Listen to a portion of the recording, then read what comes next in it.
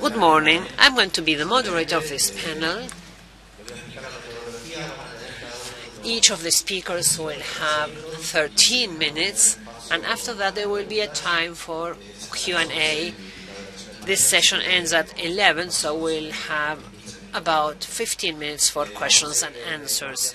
We'll go from north to south. So first we'll give the floor to Luis, after that to Gustavo, and finally Agustin, who is from the south. So without further ado, let's start with this panel.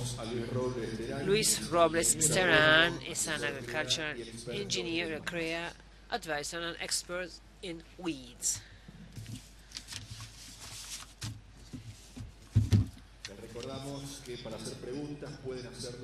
Questions may be asked using an SMS sent to the number 341-604-8169. And ah, the questions will be answered at the end of the three presentations.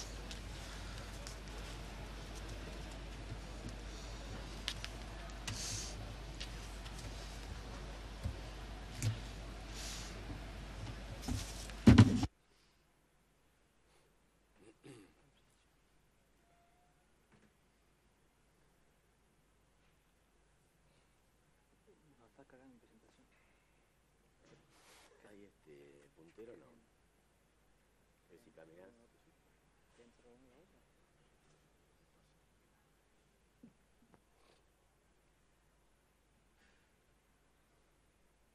Empezamos bien, ¿Eh? empezamos bien. Sí. A bailar. Que, que, Que Luis ayer- arranque bailando. Ayer, este, a anda. poquito.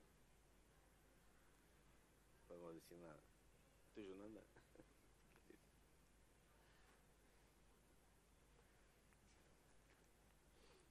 ¿Querés empezar de sur a norte?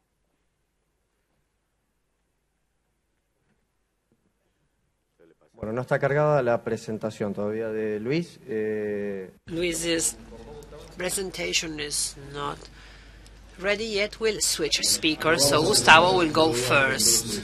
I'm going to introduce Gustavo Duarte. He is an agricultural engineer. He graduated from Buenos Aires University.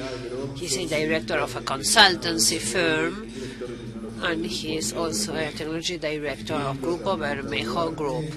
He is a member of the CREA America Group and of the 25 de Mayo CREA Group, both of them from the province of Buenos Aires. Good morning.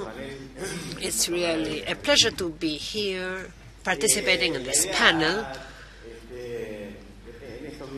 In my 13 minutes, I'm going to share with you information about how we think we might reduce the yield gaps in the central region, in the central soybean production region of Argentina. As I don't have too much time,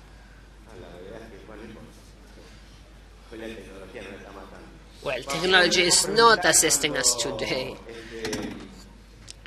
When we think about soybean crops in the central area of the Pampa, the Pampas prairies, the first question should be what is our expected yield? And this is related to the resources the crop will have in a crit- at a critical time because it's there where the crop defines the number of grains, which is the main element of yield, and of course the weight of those grains. We need to have a look at the genotype that has to be the right one for the environment, and of course in we have to reduce stress. This is our crop management activity. The second question we should ask about is well, do we know the limitations set forth by the environment and the probability of their occurrence? So, this is the first question. So, which is the yield gap I'm willing to accept, and which is the risk of economic losses?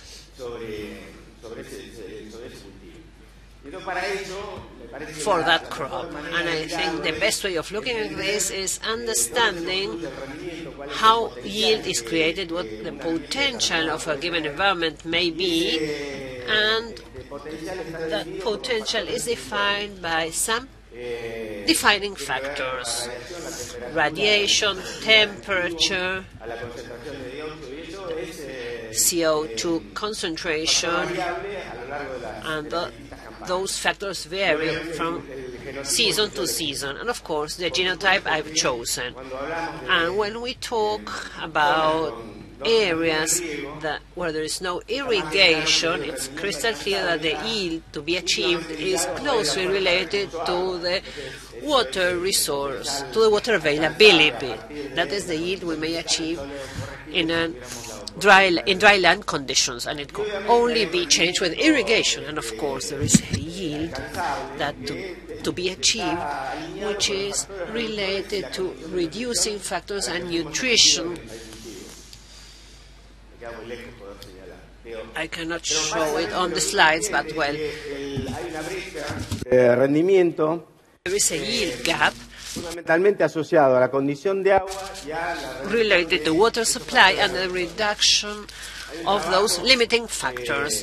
There is a paper published together by several universities all over the world which analyzes the yield gaps. For us, those yield gaps are range between one and three tons, and that's the challenge we are facing. What you can see on the screen is just what happened for a given area, for a given environment in the area of Pehuajó. The sky blue line is the potential yield of the season according to the resources available in the environment. However, the red line is the one that shows the actual yield.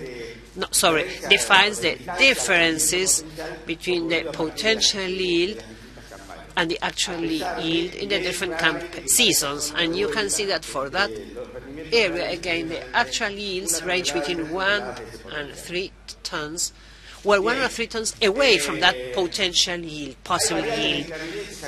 There are several variables to be corrected whose important importance varies, and this is a management challenge we face in all the regions independently of the region where we are working. There are several management variables. Many of them are cannot be corrected by us. Let's look at the size and importance of those variables to understand the gap. The first one for us in the central area of the province of Buenos Aires is related to the quality of the lot of the farm. And there is a challenge here, an implicit challenge here.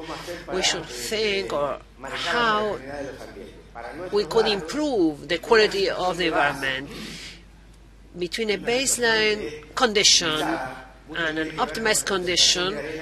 Well, the difference is re related to the sand concentration, and the average responses are 800 kilograms. In red, we have the most relevant figures. Which other factors are very important? The water table. The underground water may reduce or increase the gap, but very often we don't really know the effects of the quality of that underground water and how it influences the crops. Rotation is also important. In long-term trials, there are 300 and 400 kilometers difference if the rotation is done with corn. The genotype, this is just an example, the evolution of the germplasm and how much they contribute to the to the reduction of the gap. And there are some other factors we sometimes discuss which are not so important, which are the plant populations, distance between rows, but there are some others which are more important, nutrition, phosphorus especially, or net biological availability. And for our environment, something we should never have left behind is the management of herbicides, of residual herbicides. We would have faced fewer problems if we had thought about how to use resi fertilizers residues. All these factors don't produce a positive result in all cases. If we look at the way the gap can be reduced by these factors, well, the number is about 13%. And very often there are technology interventions whose results are negative. We are working with bioenergy. Otherwise, each of these factors on its own, when we look at them in an experimental stage, we, the result we get is that we should get a yield of over 10 tons in the case of soybean, and this is not the case. Let's look at this example. On this graph, the most important thing to understand is that the quality of the environment in terms of water supply is much more important than the two other variables. Here we can see I changed the variety or I changed the population density. What is more important to reduce the gap? Well, having enough water supply coming from the underground water table. And the change in variety and the change in plant population density didn't bring about such a big change in, or didn't bring about such an important reduction in the yield gap. So water is more important to reduce the gap than anything other else, which is a net benefit we're getting from germplasm. Here we see 16 years in the province of Buenos Aires. Here we have selected the best three varieties because of their response. So breeders are helping us out here. There is an increase of 100, 120 kilograms in yield every year. So breeders are helping us out. The next challenge is water. I, water table, the supply of water from the water table. But there may be an issue here. On the left, you can see a graph where we see a scenario Pehuajó, where on average there are 70 centimeters of water table, and we can forecast this based on the probability of occurrence for the future, considering the historical information from the region, and we may find a scenario like this one. If there is a rainy season once again, the region will be, the region's yield will be compromised, and if we had just exactly the opposite in, dry, in drier conditions, only in one year the water tables would have the right level to reduce risk. And if it were the driest year ever, the probability would only improve when the water table would be at two meters. Planting date after the environment is the most important variable, however we look at it. So, no matter what the genotype is 20 kilograms per day of delay for high potential environments. This is the penalty we receive when we plant after October the 10th. So for those environments, planting has to be done in October. The next important discussion is related to nutrients supply, and of course the results of phosphorus is that we should stop thinking that first that soybean cannot should not receive nutrients, should not be given additional nutrients, because we see this when we see that that's not the case when we apply phosphorus. So here you see on the slide the winter nutrition plus the nutrition we add at planting, and that may reduce the gap, the yield gap, significantly. The important thing is to apply fertilizers. The next big challenge is related to net biological availability. And today we have to carry out the right process. We know this. It's not good enough to inoculate if we don't do it in the right way because the response to this biological availability will not be properly achieved. And the next challenge is what would happen if today we would be able to get above seven tons in those environments. We have more than seven and eight tons, the ones I mentioned early on. So in those conditions, we should imagine that we should add nitrogen to soybean. The trials show, well, rest assured today nobody thinking of adding nitrogen, but if we change the potential of net biological availability of crops, we should think about the response to nitrogen, something which we realize when we are above seven or eight tons. And we see this in the country as a whole because there is a protein loss. The challenge is measurement of heterogeneity. This is what we are doing in the region. If we reduce heterogeneity, we will, we will optimize resources, but the challenge is to understand the different responses that some technology practices may contribute to achieve. So there are some elements which have different behaviors it's important to imagine that maybe in some environments we might have to think of some products and it's a different environment, a different product should be used. Gap reducing factors, I've already spoken about weeds, we should define the strategies, end of cycle diseases control these controls help to reduce the, the gap by 4%, not much more than that. And my final message would be this one.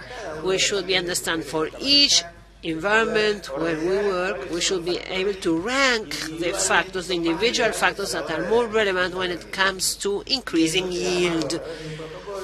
A protocol should be devised. On the screen we see an example of a protocol for La Pampa, where we, which we can use to work in an orderly fashion. So, conclusions, reducing uh, gaps, yield gaps, consolidating or achieving a reduction of the gap vis-à-vis -vis the potential yield. For this, we have to understand the variables that influence yield, and we should use the right management, technology, plant protection, etc. And finally, we should design protocols that help us to organize the choice of the technologies that I'm going to use. Thank you very much. Thank you, Gustavo Duarte, for your presentation. And now we continue with Esteban Bilbao, who is an agricultural engineer graduated from uh, the University of Mar del Plata. He's a technical advisor in Agrosur, and he's a member of Necochea Regional. And he worked there in different periods, and he's also member of the extensive um, Crops Association. Well, thank you very much. It's a pleasure to be here with you. Thank you, Luis. I didn't want to be um, the last, but uh, I could sabotage him and speak before him. So let's see what happens with soybean in the southern region. That's why I show this picture of a person on a frozen lake. I will talk you. Uh, I will tell you what limits yield. I'm going to tell you that the shoot shouldn't be neglected. I'm going to inform what we're doing, and. Uh, we will explain what is most important. We've been working on this for many years in different organizations with individual consultants, with company consultants, but we have stopped analyzing one variable to check the complete scenario. We have to add information and learn from each other the South shouldn't be neglected. This is where we work. We, our center is Necochea, but also Tres Arroyos and Mar del Plata. I'm going to mention Carué too. The um, average temperature in summer is 20, 13, 23 degrees, but the evenings are very uh, cool. Rainfall is 600 to 900 millimeters. December, January, and February 70 to 90. Those are averages from the past uh, 10 years. But we have had rainfall of 30 and 50 millimeters, so the environmental conditions show less potential with the tuff more close to the surface. From October to May, we have 30 40% probability in March to have frost and that affects soybean. The soils are have water deficit. They are dry soils and there's a lot of tuff. And the tuff in the surface or in low areas near the hills is a problem. Organic matter 1 to 6. The conditions are okay, the soils are good, but deep depth is not enough. It could be shallow or deep. We have oat, we have first soybean, second bean. In the past years, late corn to replace soybean. And we started with second crop corn or sunflower. In deep, we have larger potential. Everything competes with soybean. We can have barley, uh, second soybean or, or corn and organize it as we prefer because this provides more diversity. This is 15,000 hectares and the rotation 23% corn, then sunflower, soybean, 17, um, 7% wheat, and 27 uh, barley. So you can see that not everything is soybean in our area. We have uh, pretty environments like the seaside in Necochea, but we have cold weather. So this is a limitation for soybean. What, not uh, enough uh, water availability and cold weather. So let's see what is our strategy. In the most restrictive soils, in genetics, we are using group 3 long cycle and 5 short cycle. We are moving towards the southeast and we have had issues with cancro. So group 3 long and 5 short. Planting date 15 to 30th of November. So the critical period is January or February. Our population, our density is 200,000 to 250,000, sometimes 300,000.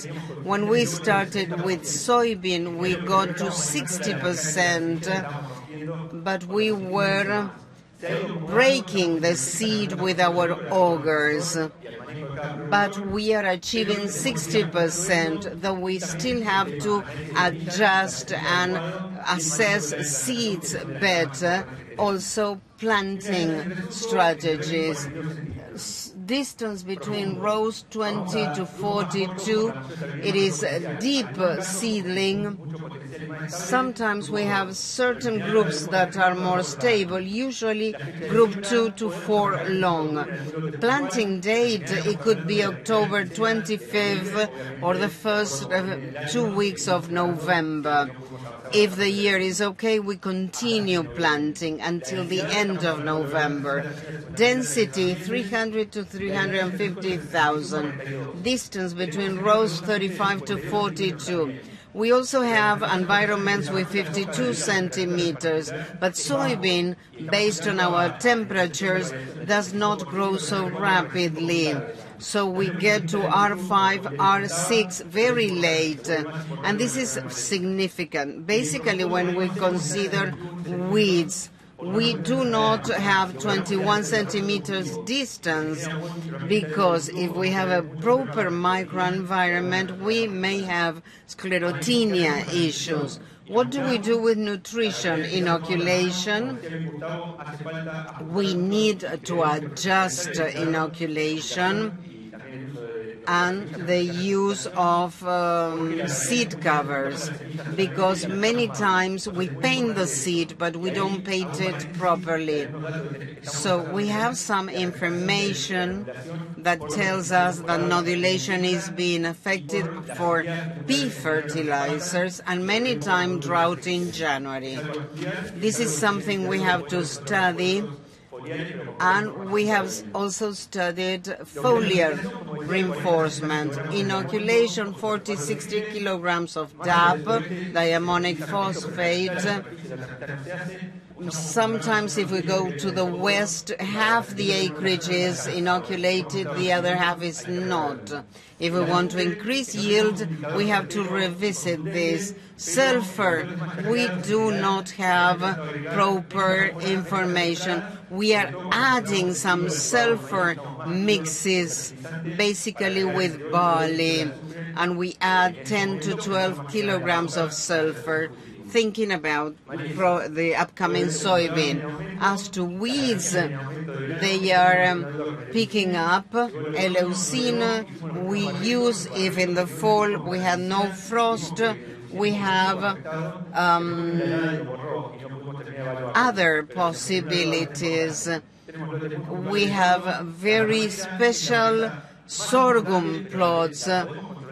Conyza is the most problematic uh, weed. We also have Sonchus oleraceus. If we receive Conyza from Uruguay, we will have more problems. Amaranthus, Palmeria, and Hybridus is again a problem. The Brassica napus and Lolium is not so significant, but we still have some. This graph does not include information from three years ago, but you see how weeds are increasing. Ryegrass is the most uh, significant. It is the most disseminated. 20% of our plants with Navolsa and 23 with Hybridus and only 0.5% with Palmeri. But people has told us that Palmeri, if we have a hybrid, will come up and pick up very quickly. We have to revisit the distance between rows. We have to go back to residuals and we have to think about this crop and of the upcoming crop. The pest, well, we have millibags. 100% of our acreage, 40% deserves some chemical control of millibags.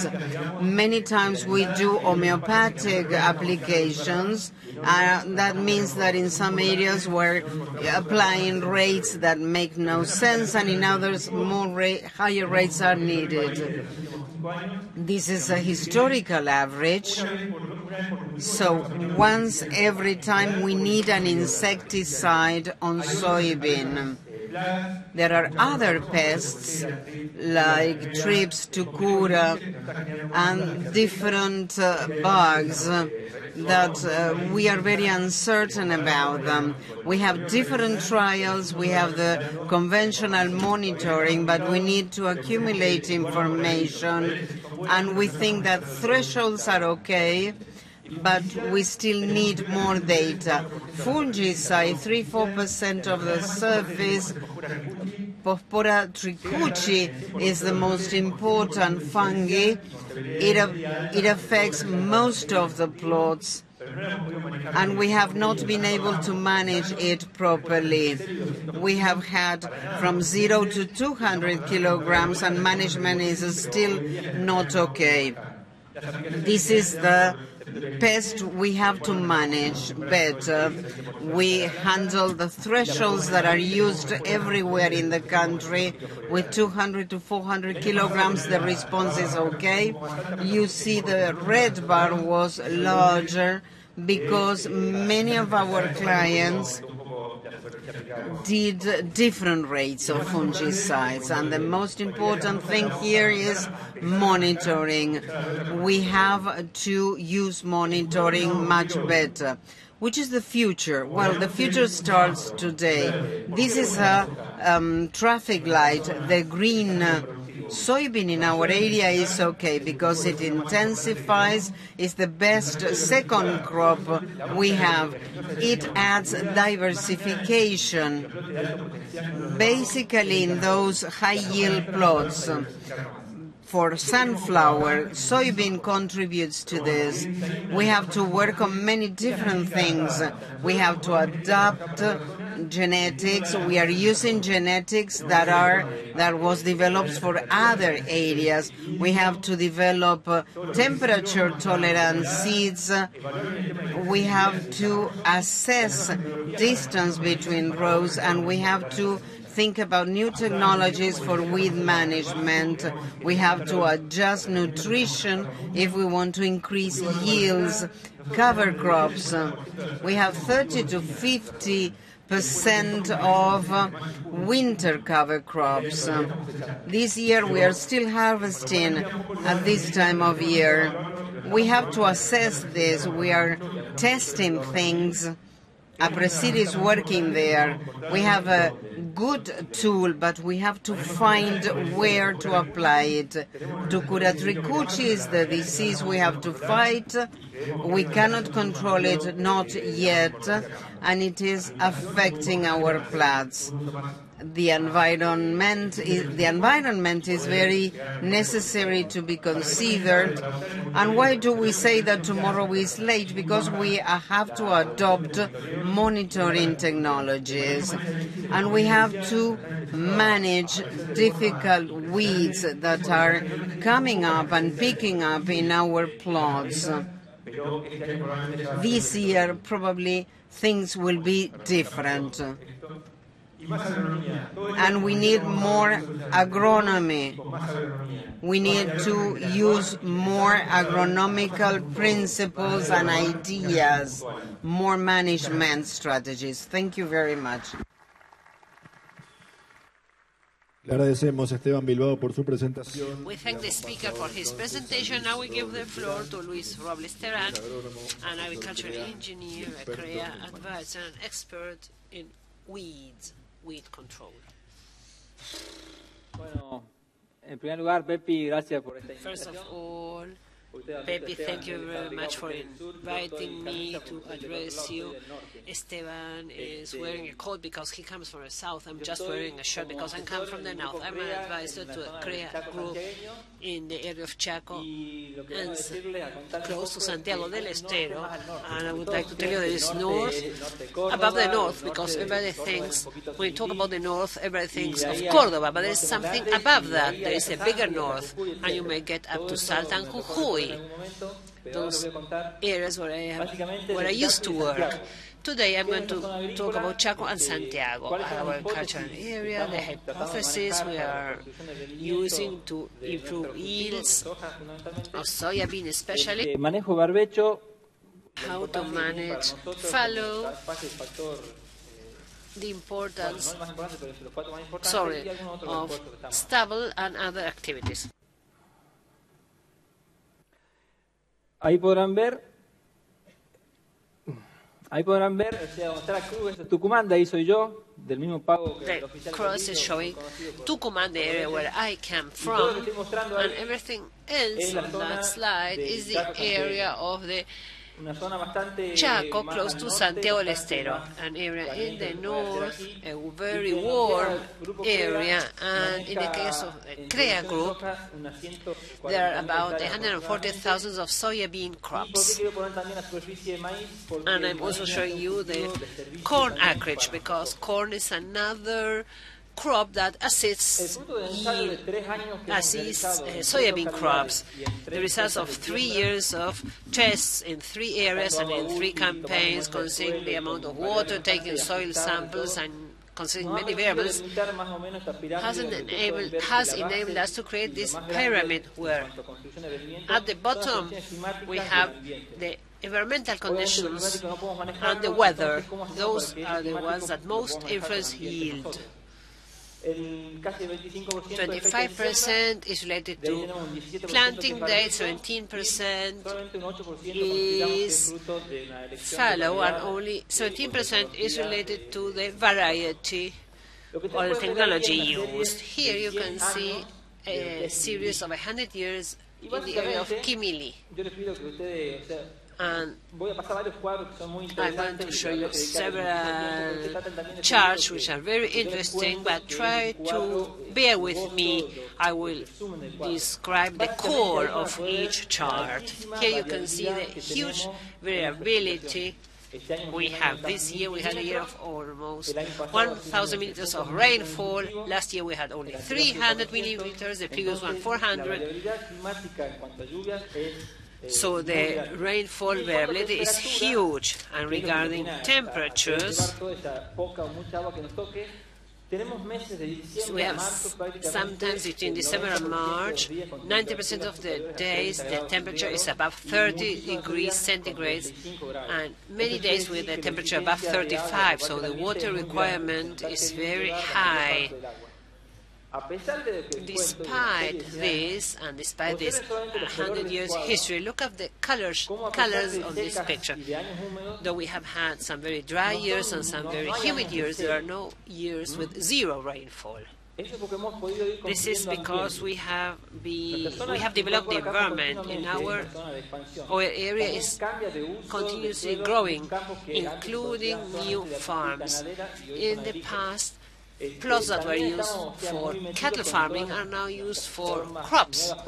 Today, we are introducing new ways of doing agriculture, and this has enabled us to create safer baselines and achieve higher ceilings, higher yields.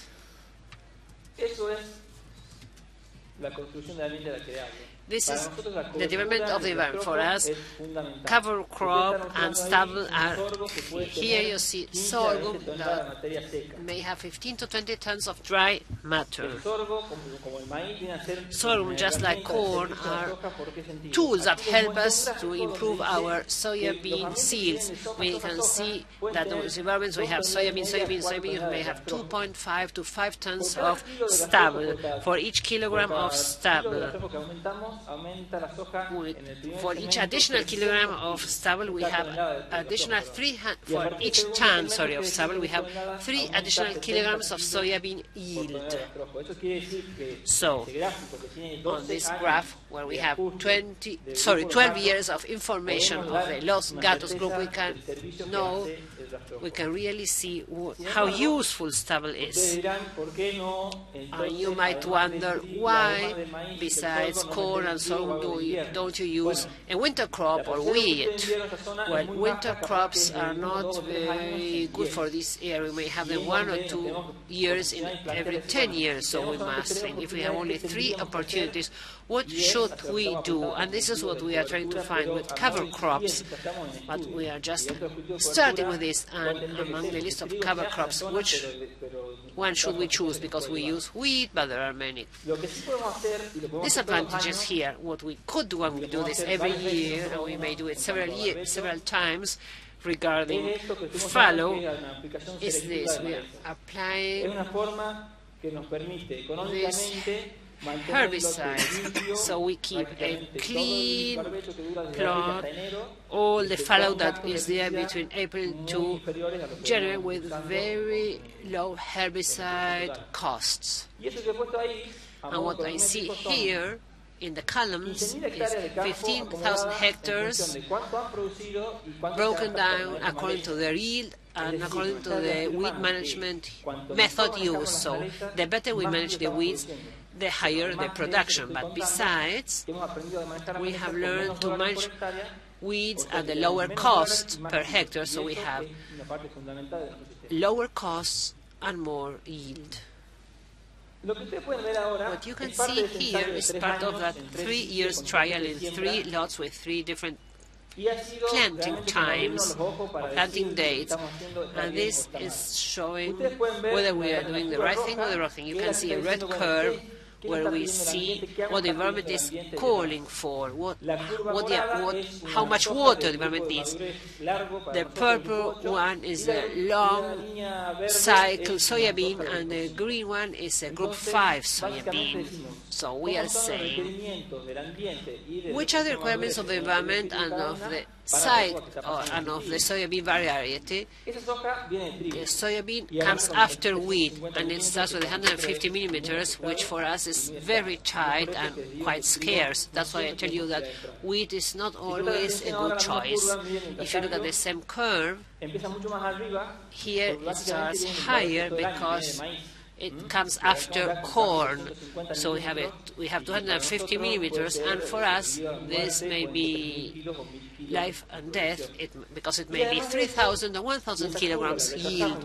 If we delay this, and instead of starting December the 7th, we start on January the 24th, we have more water, and the soya bean gets to its critical stage at a time when the higher temperature, when the highest temperatures are lower. Which are the conclusions to be drawn from this trial? That uh, well, the main planting date for us shouldn't be early December, as we used to do 10 years ago. Now the planting date dates have been moved to December the 20th to January the 5th. And another important lesson learned is that the groups 5 and 6 are a great tool for us. We thought that it was an aggressive approach. However, the trials and the field conditions have showed us that in our area it's using short cycle groups is to be very conservative. These are results of several seasons in Chaco, in uh, Santiago Chaco area, where we see that group 8, the blue line, though it hasn't been easy, and though it has taken us many years to achieve this group 8, is dropping because it doesn't make so much sense to use it in our area. And the one that has grown significantly, 60 or 70% this year, is groups C, 6 and 5. We won't stop using group 8 because they help us on the time distribution of harvesting, etc. But well, it has not been easy to make the changes, but now we know that group 5 is key for us. So in the pyramid, consider not only maturity but also technology. The Intacta technology, which we started using five years ago, is widespread nowadays, and you may see for our area, for the tough years, Intacta provides additional yield vis-à-vis RR1 soybeans. Don't, I don't have the results of this year's season, but these are results of the trials.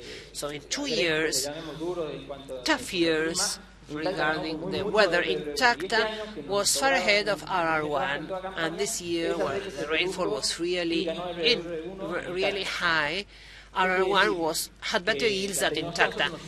This means that the technology is very useful and it's a kind of reinsurance because when there's not enough when the conditions, environmental conditions are not good, Intacta is better than RR1. And what do the farmers do? while they do this. The soybean acreage includes mainly group 6 and Intacta, the big orange bar. And this is what I wanted to share with you. This is what our area looks like. It's not easy, but that's how we manage it. And finally, I'd like to thank all those people that make, that enable us to improve and to get better every day. That's my team and our and my family in this case. Thank you very much. Thank you very Luis, for your presentation. And now we have uh, some time for questions and answers. So we have now 10 minutes for the Q&A session. I don't know if any of you has got any, but I'm going to be reading them, or I will make um, questions myself. So, Gustavo, you mentioned um, yield yield gaps. Uh, yesterday, another presentation talked about potentials, and he said that we are close to uh, getting that, but sometimes we have certain uh, interaction. So, what do you think? How far are we from that yield that is uh, possible?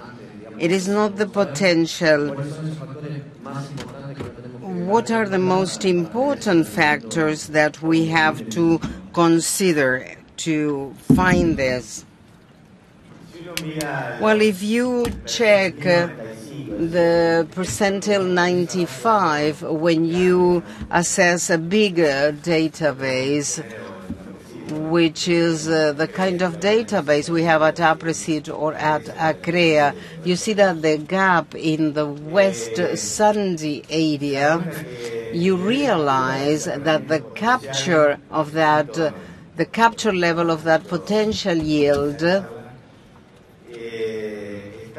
is uh, is between 80 to 90 percent of the potential yield capture. So we are very close, but in very um, few plots. So we have to look and see what was the opportunity that allowed us to have that yield. So if we assess the wheat uh, gap, it did not come up to what we had imagined. Some yields are not even in the simulation models. We explore the 7,000, 8,000 kilograms, and in some plots, in some sites, we got it. What do those sites have? Well, they gather everything I mentioned in my presentation. People took care of the genotype. They adjusted nutrition not only with P, but also boron and sulfur. They paid attention to planting date, which is a very powerful variable. And that's it.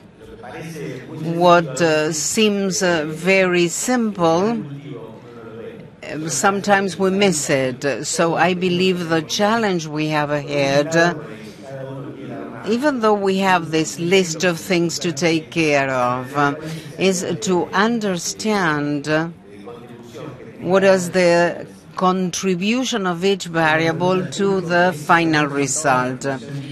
Can you see the result of liquid fertilization in R1 or is it too late?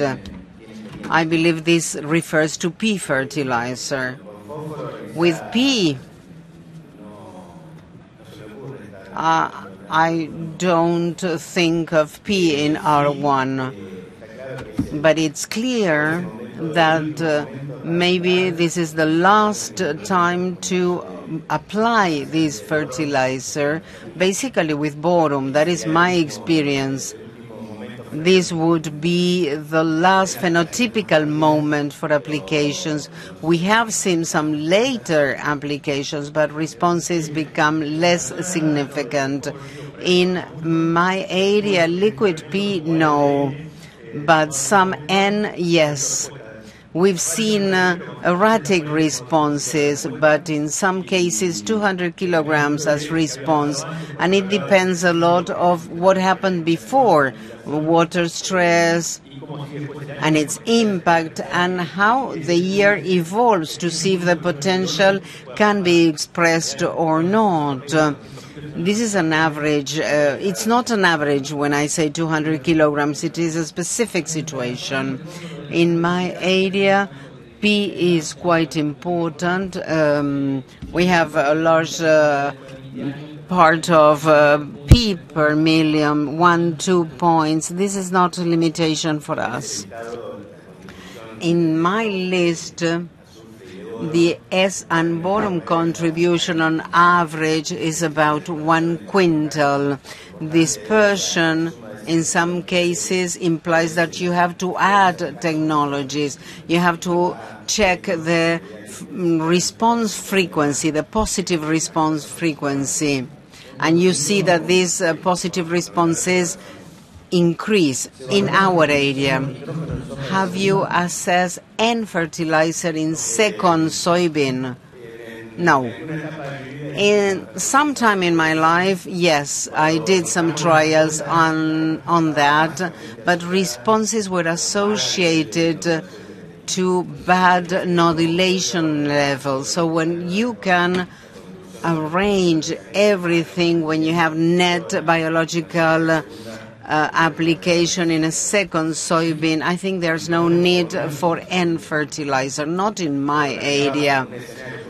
It could be a scenario because currently the discussion is based on what is uh, going on with the low protein levels, you start thinking about uh, that net biological fixation is not contributing as much as needed. And that comes up um, as an exploratory issue.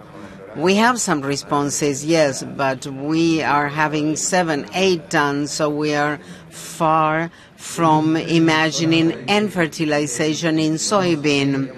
In your environments that you are including with inoculation, do you have responses in areas where there is no soybean background? It is very linked to the climatic issues we are having. We have a one-year plot and we compare it with a 10-year plot, and sometimes there are no differences.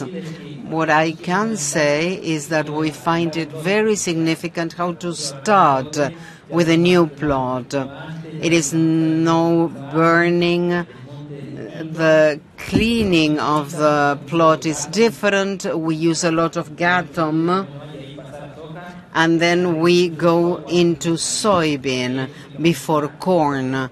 This is for new plots. That explains their potential. Those plots that we have to start uh, that are not new, the first year produce a, a number of kilograms, and this year they have produced more, 5,000 kilograms. If we have more water, we can do more, of course. Esteban, in those environments that you considered inferior,